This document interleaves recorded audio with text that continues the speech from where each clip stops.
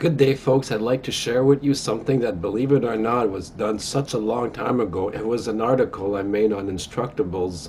I totally forgot all about it, and I was going through my old posts, and I noticed this, and this was before I got really serious in the free energy stuff.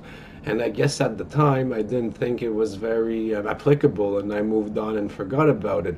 But what it is, folks, it's an Instructable on how to make your own negative resistor.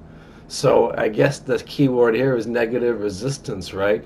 And in my scenario, I use an LED and I convert it, I, a hack essentially, by uh, overheating it a little bit, by giving it a little bit too much voltage, just until it changes colors to build a copper oxide layer.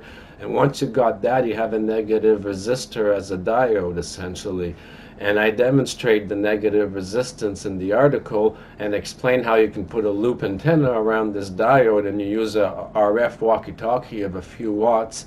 The LED lights up when you get close to it. Then it takes a moment because of the DC bias. It kicks in the negative resistance. It's like a tunnel diode. And then you can go far away up to two, three feet before the light turns off because it's doing a self-amplification effect, very similar to how the neon operates at a certain trigger and then it works at much lower voltages.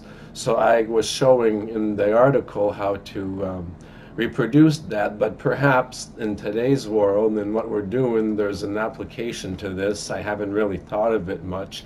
But again, for transparency, I should share this with you because it might very well be applicable to some of the things we do. So I'll give you the link to the original um, Instructables. It still works and clicks and loads. So all the information is on there for you folks. So again, thanks for watching.